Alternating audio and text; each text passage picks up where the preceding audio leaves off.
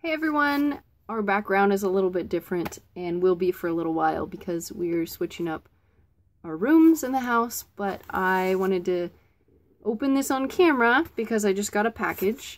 I wonder what's inside. Oh, oh what is it? What is it?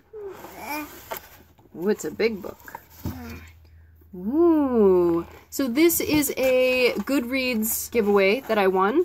This is The Barrowfields by Philip Lewis. The lighting's a little off. So from what I know about this, there is a young boy who grows up really idolizing his father and then something happens and his father kind of snaps and the boy he's probably a teenager runs away and breaks off contact and then at some point goes back and has to like face um, his feelings and like kind of struggle with like how much does he forgive? This is a uh, coming of age story um, about family. And it, it sounds very interesting